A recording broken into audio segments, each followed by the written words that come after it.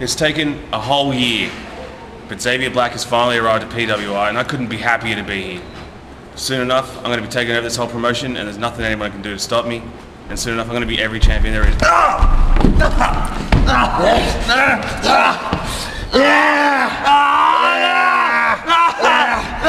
anyone can do to stop you.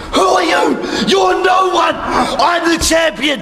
For months, I've been saying I'm going to bring the fall of this company into total anarchy. Well, now, now it's happening.